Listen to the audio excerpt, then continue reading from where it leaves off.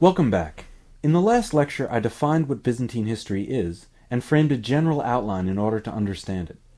This time we're going to start with the Emperor Diocletian, his rise to power, and find out why he was so unique and important to Byzantine history. All was not well with the Roman Empire. The second century had witnessed both the apogee of Roman power and the start of that long decline which would bring the West to its knees. The problem, quite simply, was one of succession.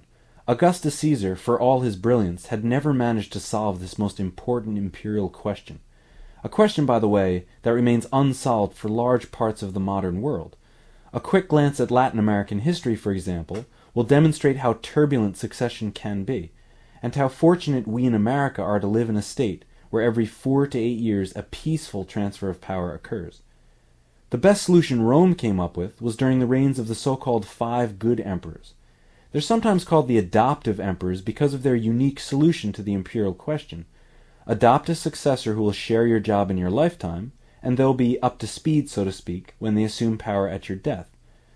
This system worked brilliantly until the last of the good emperors, the so-called philosopher emperor Marcus Aurelius died in 180, leaving the empire not to a trained successor, but to his aptly named son, Commodus.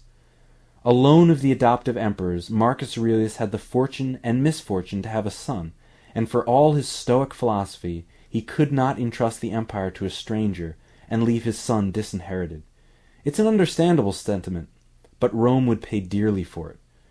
Commodus was a colorful, if insane, emperor who genuinely thought that he was a reincarnated Hercules, and spent many hours fighting gladiators and shooting animals in the Colosseum to demonstrate it. He claimed to have killed over 12,000 men in the arena, in an age when most Romans considered gladiators to be the bottom rung of society. He renamed Rome Colonia Commodiana in honor of himself, and replaced all the months of the calendar with twelve of his names. Not surprisingly, he managed to make himself so unpopular during his twelve year reign that he got himself assassinated. And this was the start of a steady decline in both power and prestige, reaching a chaotic low point in the third century. The army increasingly chose the emperors, most of whose reigns were short and who met violent deaths, often at the hands of their own troops. The army had discovered the dangerous secret of empire, that they had the key to build emperors, or tear them down. The Praetorian Guard, ironically enough started by Augustus to protect the emperor, often had an important role in this king making and king breaking. And the success of a candidate many times was determined by how effectively he could buy them off. In 193 the Guard even auctioned off the office of emperor to the highest bidder, and then killed the lucky winner 66 days later when he couldn't live up to his promises. But the fifty years between 235 and 285 are often seen as the low point, with a succession of forgettable rulers marching across the Roman stage at an average of one every two years.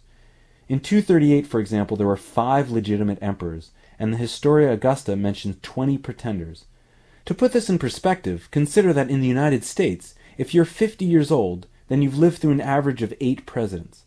A fifty-year-old in 285 would have known 27 legitimate emperors, numerous pretenders, and at least one breakaway empire. This brings us to the year 283. The emperor of the moment was named Carus. He had been head of the Praetorian Guard and had taken advantage of his predecessor's absence in the east to seize the throne. Carus had two sons, Carinus, a bit of a playboy but a good general, and Numerian, a decent poet but not much else. The other two important figures of the day were both commoners, Lucius Flavius Aper and Gaius Valerius Diocles. Aper, whose fancy name in Latin means wild pig, was an extremely ambitious man who had insinuated himself into the imperial family by marrying off his daughter to Carus's younger son Numerian. He had then risen to become Praetorian commander, one of the most powerful positions in the empire. Knowing that he would not likely become emperor himself, his goal was to put a son on the throne. His main civilian rival in this was Diocles, whose slightly more august name means Zeus's glory. The son of a freedman and a scribe, Diocles received a classical education, was fluent in both Latin and Greek, and was a voracious reader. As a young man he entered the army and quickly rose through the ranks to become commander of the imperial bodyguard. He seems to have had visions of grandeur early on, and a seer is said to have prophesied that he would become emperor one day by killing a boar. In 283, Carus decided to go east on one of the Roman Empire's chronic wars with Persia. Taking Aper and Diocles and his son Numerian with him, he, perhaps due to the tenor of the times, appointed Carinus to be Augustus of the West in his absence, ensuring a smooth transfer of power in case anything should happen to him. The campaign was a success, with the Romans sacking the Persian capital, but the army got no further because there, on the banks of the Tigris, the fifty-nine-year-old Carus was killed by a bolt of lightning, which is probably just a sly way of saying that Diocles assassinated him. Numerian was now, by default, in charge of the expedition. Unfortunately for him, he had contracted a serious eye infection during the campaign, and not wanting soldiers to see him in such a condition, was forced to travel in a closed litter. And this gave someone, probably Diocles, the perfect opportunity to strike. With the capture of the Persian capital, the campaign had come to a successful conclusion, and Numerian had ordered the army to withdraw. Each day his closed carriage would take its place in the ranks as the troops wound their way across Asia Minor. By the time they reached Nicomedia, however, they noticed a horrendous smell coming from the carriage. They broke open the doors and found the partially decomposed body of Numerian. Diocles seized the opportunity and immediately accused Aper of the crime, hauled him in front of the army, declared a death sentence without allowing Aper to speak, and personally carried out the execution right there before the entire army. Not surprisingly, the troops hailed him as emperor, and having slain the boar, he Latinized his name to Diocletian. His struggle, however, was only half over. There was still the matter of Carinus in the west. I always feel a bit sorry for Carinus. His father and brother have both been assassinated, probably by the same man who is now marching at the head of an army to kill him. And on top of that, the Germans and the British both rise in revolt, and Italy itself supports a pretender named Julianus. His reign was descending into chaos. But whatever his flaws, Carinus was a good general. He crushed the revolts easily, and in the beginning of 285 he defeated the Italian pretender Julianus. This left him free to deal with the bigger threat of Diocletian. The two armies met by the river Margus, near modern-day Belgrade. Carinus was the better general, and had the larger army, and the tide soon turned against Diocletian. On the verge of victory, however, Carinus's past caught up with him. One of his officers, whose wife he had seduced, struck him down, pulling defeat out of the jaws of victory. Carinus's troops went over to Diocletian without opposition, and he stood as the undisputed master of the Roman world. The first thing that set Diocletian apart from his contemporaries was that there was no bloodbath upon his accession to complete power. In what would be the first twist in a reign full of them, he pardoned most of his political opponents and found positions in his administration for some of them. Solutions like these would be both brilliant and unorthodox, and would continue to astound his subjects. He had four main problems to overcome. The first was that there was a chronic shortage of troops to fight all the empire's wars. The second was that there wasn't enough money to pay the troops they did have. This was a major problem because underpaid troops tend to get uppity and lead to the third problem, chronic civil war. Or to put it another way, his third problem was how to decrease the power of overmighty generals. The fourth and final problem was the one of succession. If he could solve all the other issues, how could he ensure that his death did not result in more civil wars? The solution to the first problem was simple. He had to increase the number of men in the army, so he made the army a more attractive place to be. Serve in the legions, and you could retire to your own plot of land, perhaps with quite a bit of money stored up. Or you could use the army to launch a political career and end up a prefect, or even in charge of an entire province. Reforms were enacted which made the advancement based on merit instead of family connection. The problem of money was a bit more difficult as no one in the ancient world had a firm grasp of economics. The treasury was a bit short of money, so he minted more, not realizing that this was devaluing the currency and fueling inflation. He was a bit more successful, however, in reforming the tax system.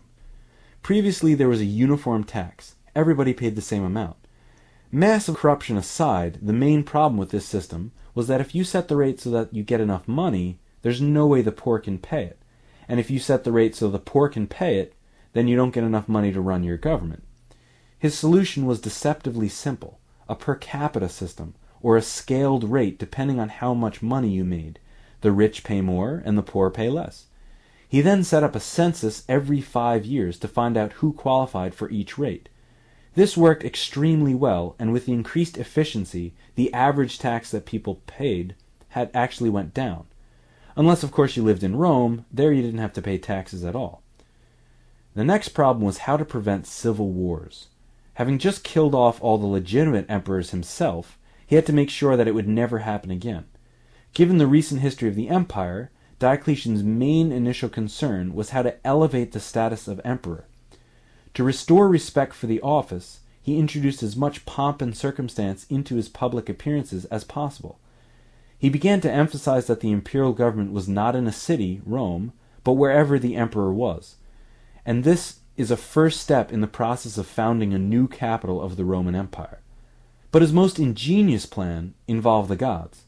It had long been the practice of emperors to deify their predecessors. Diocletian just took it one step further and announced that he was the son of Jupiter.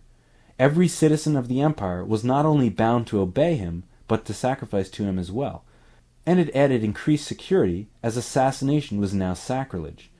Of course, this policy also brought him into sharp conflict with a significant minority of the population who refused to worship him, and so began the last great persecution of the Christians. As further insurance against revolt, Diocletian restructured the army.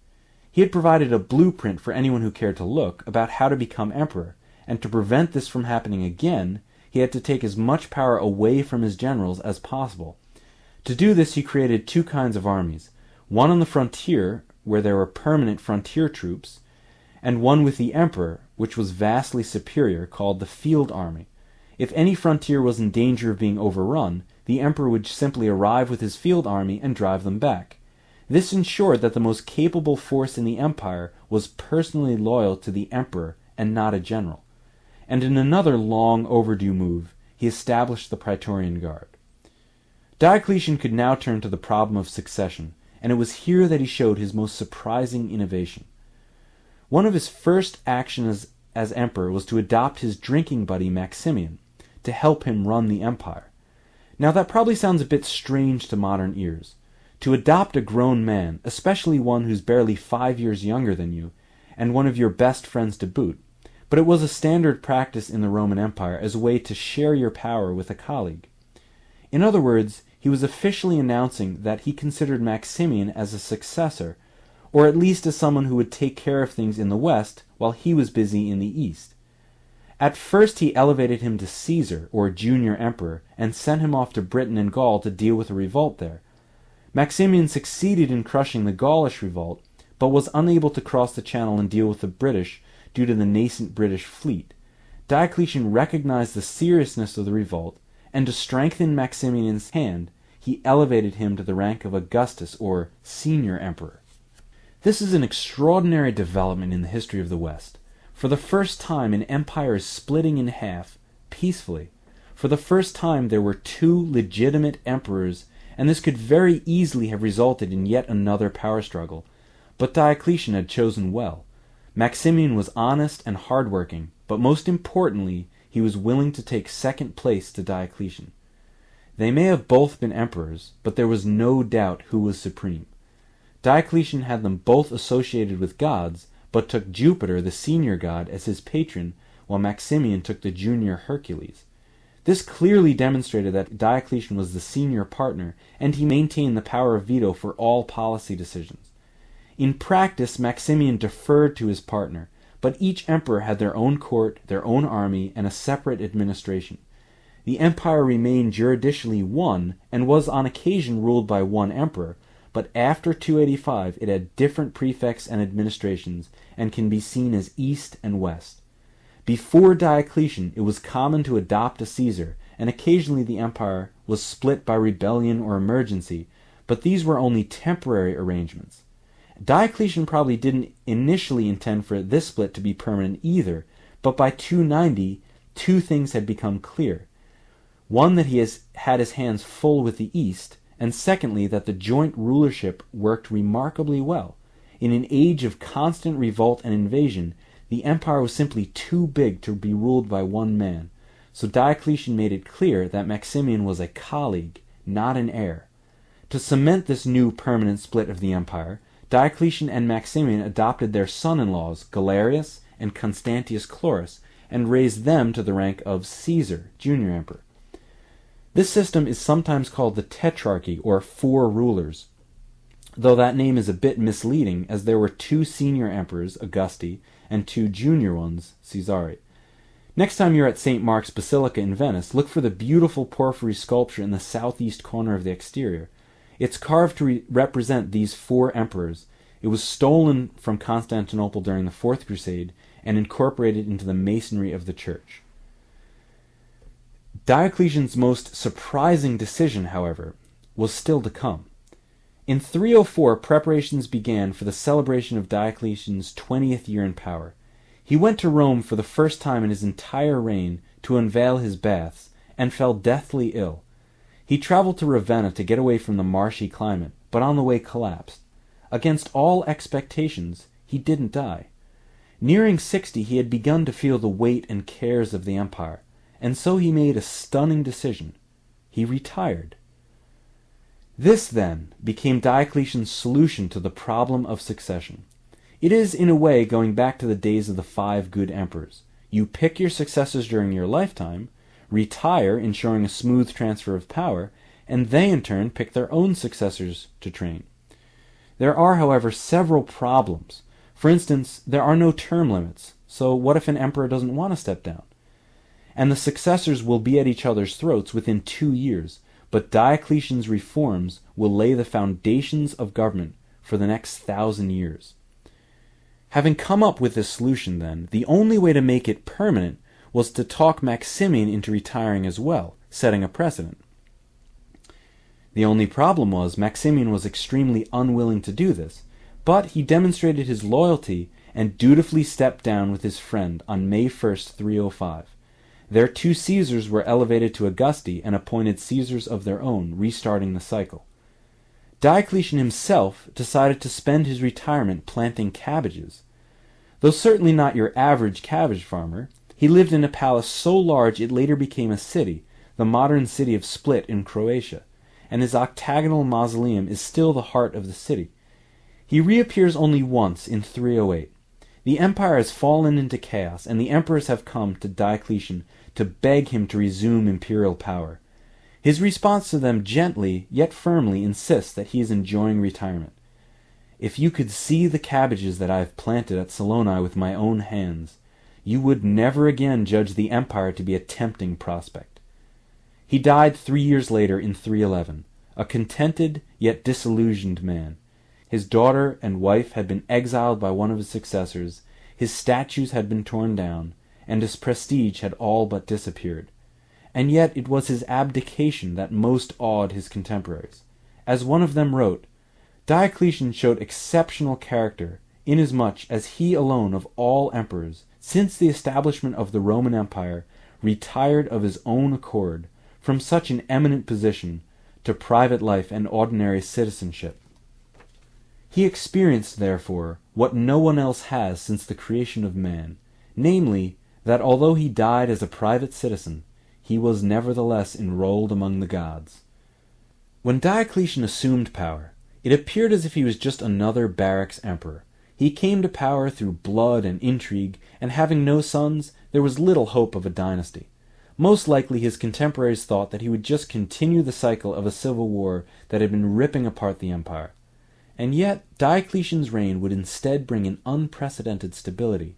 He would reform the empire and reign for over twenty years, longer than any other emperor in a century and a half.